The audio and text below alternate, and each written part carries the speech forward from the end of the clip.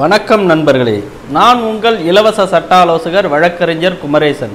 இன்னைக்கு நம்ம பார்க்க போகிற தலைப்பு வந்து பொதுவாக வந்து பத்திரப்பதிவு அலுவலகம் வந்து ஒரு மாவட்டத்தில் இருக்குது உங்களுக்கான சொத்து வந்து இருவேறு மாவட்டங்களில் இருக்குது அப்போ வந்து அந்த ரெண்டு சொத்தையும் வந்து ஒரே மாதிரி ஒரே நேரத்தில் வந்து விற்பனை செய்யணும். அல்லது இரண்டு மாவட்டங்களில் இருக்கக்கூடிய சொத்துக்களை வந்து ஒரே நேரத்தில் வந்து நீங்கள் வாங்க வேண்டிய நபராக இருக்கிறீங்க அப்படி என்னும் நிலை வரும்போது அந்த இரண்டு சொத்துக்கும் ஏதாவது ஒரு மாவட்ட பதிவாளர் அலுவலகம் இருக்கக்கூடிய சார் பதிவாளர் இடத்துல நீங்கள் வந்து அந்த பத்திரப்பதிவை மேற்கொள்ளலாம். அதாவது வேறு வெளி மாவட்டங்களில் இருக்கக்கூடிய சொத்துக்களையும் சேர்த்து இந்த ஏதாவது ஒரு மாவட்டத்தில் வந்து நீங்கள் பத்திரப்பதிவை மேற்கொள்ளலாம். அது குறித்து இந்த காணொளியில் பார்க்கலாம். பொதுவாக வந்து பார்த்தீங்கன்னா நமது நயினார் நாகேந்திரன் எம்எல்ஏ என்று ஒருத்தர் வந்து இருக்கிறாரு பாஜகவை சேர்ந்தவர்.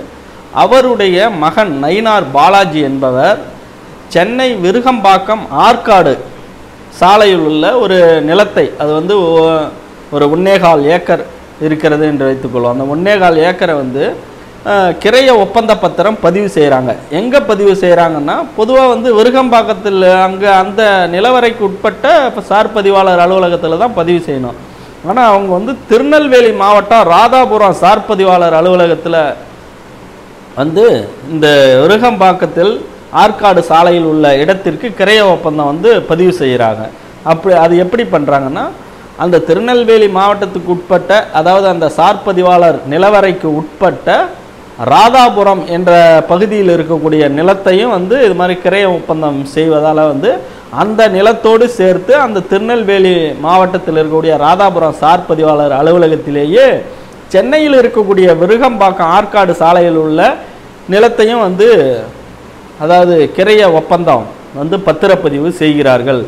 இப்படி இருக்கின்ற பொழுது இந்த விருகம்பாக்கம் ஆற்காடு சாலையில் உள்ள ஒன்னேகால் ஏக்கர் வந்து இதற்கு முன்பாகவே மெட்ரோ ரயில் பணிக்காக வந்து கையகப்படுத்தப்பட்டு விட்டது. அரசாங்கத்தால் கையகப்படுத்தப்பட்டு விட்டது.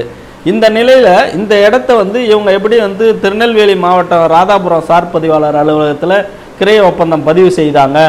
எனும் கேள்வி எழுகின்ற போது இந்த புகார் வந்து பதிவுத்துறை வந்து அதிகாரிகளுக்கு மேலதிகாரிகளுக்கு இந்த புகார் வந்து செல்கிறது.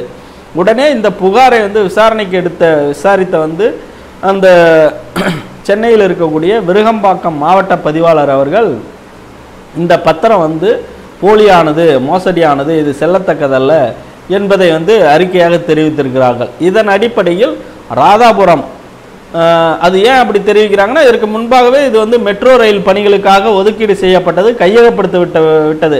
அப்போ அரசு கையகப்படுத்தப்பட்ட நிலத்தை வந்து ஒருவர் வாங்குவதற்காக கிரைய ஒப்பந்தம் போட்டது வந்து செல்லாது என்பதை விருகம்பாக்கம் மாவட்ட பதிவாளர் அறிக்கையாக தெரிவித்திருக்கிறார். அந்த அறிக்கையின் அடிப்படையில் திருநெல்வேலி மாவட்டத்தில் இருக்கக்கூடிய ராதாபுரம் சார் பதிவாளர் அவர்களும் இந்த பத்திரம் வந்து செல்லத்தக்கதல்ல இது முறைகேடானது என்று அந்த பத்திரத்தை முழுமையாக ரத்து செய்திருக்கிறார்கள். இந்த நிகழ்வு வந்து பத்திரப்பதிவு துறையில் மிகப்பெரிய ஒரு அதிர்வலைகளை ஏற்படுத்தியது. இதை எதற்காக நாம் பதிவிடுகிறோம் என்றால் ஒரு மக்கள் பிரதிநிதியாக இருக்கக்கூடிய நபர்களும் வந்து இது போன்ற முறைகேடான செயல்களில் ஈடுபடுவது வந்து மக்கள் மத்தியில் அவர்கள் நம்பிக்கை பெற்று அந்த மக்களுடைய ஓட்டை பெற்று தான் அவர் வந்து மக்களுக்காக வந்து சட்டமன்றத்துக்கோ நாடாளுமன்றத்துக்கோ செல்லுகிறார்கள். அப்படி வந்து இருக்கின்ற நபர்கள் அந்த மக்கள் உங்கள் மீது வைத்திருக்கிற நன்மதிப்பை பாதுகாக்கின்ற வகையிலே அவர்களுடைய செயல்பாடுகள் இல்லை என்பதை வெளிக்காட்டுவதாக இந்த செயல்பாடு இருக்கிறது. இப்படி இருக்கும்போது இந்த நிலையில் நம்ம சப்ஜெக்டிவாக பார்க்க வேண்டியது என்னென்னா பொதுவாக ஒரு இடத்துல இருக்கக்கூடிய சொத்தை வந்து விற்கணும் வாங்கணும் என்னும் நிலை வரும்போது அப்போ இருவேறு மாவட்டங்களிலோ அல்லது வேறு பகுதிகளில் இருக்கக்கூடிய மற்றொரு சொத்தையும் அதனோடு சேர்ந்து நாம் வந்து பத்திரப்பதிவு செய்யலாம் கிரையம் செய்யலாம் வாங்கலாம் விற்கலாம் எந்த பரிவர்த்தனையும் செய்யலாம். இதே போன்று வழக்குகளும் வந்து நாங்கள் நீதிமன்றத்தில் நீங்கள் தாக்கல் செய்யும்போது உங்களுக்கு வந்து இருவேறு இடங்களில் அல்ல மூன்று நான்கு இடங்களில் மூன்று நான்கு மாவட்டங்களில் உங்களுக்கு சொத்து இருக்குது அல்லது இரண்டு மாவட்டங்களில் சொத்து இருக்குது எனும்பொழுது அப்போ ஏதாவது ஒரு சொத்து இருக்கக்கூடிய ஆழ்வரைக்கு உட்பட்ட ஒரு நீதிமன்றத்தில் வழக்கு தாக்கல் செய்து அந்த பிற மாவட்டங்களில் இருக்கக்கூடிய சொத்து விவரங்களையும் அந்த வழக்கில் சேர்த்து ஒரே வழக்காக நீங்கள் நடத்தலாம். இது பதிவுத்துறையிலும் பின்பற்றப்படுகிறது நீதிமன்றத்திலும் பின்பற்றப்படுகிறது. ஆகவே நண்பர்களே மக்களிலேயே இது போன்ற சட்டம் சம்பந்தமான தகவல்கள் மற்றும் சட்டத்தின் அடிப்படை கூறுகளை பரவலாக்க வேண்டும் என்ற நோக்கத்தின் அடிப்படையிலும் சட்டம் விழிப்போடு இருப்பவருக்கே துணை நிற்கிறது என்ற காரணத்தினால் இந்த சட்ட விழிப்புணர்வை மக்களிடையே சேர்க்க வேண்டும் என்ற நோக்கத்தின் அடிப்படையில் இந்த காணொளி பதிவு செய்யப்படுகிறது.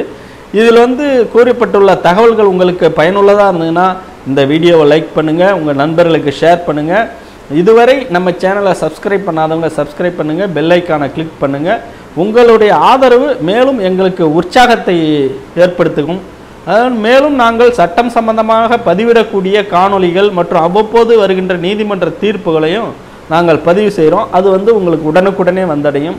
மேலும் அடுத்து பயனுள்ள சட்ட தகவல்கள் அடங்கிய காணொளியில் உங்களை சந்திக்கும் வரை உங்களிடமிருந்து விடைபெறுபவர் நான் உங்கள் இலவச சட்ட ஆலோசகர் வழக்கறிஞர் குமரேசன். நன்றி வணக்கம்.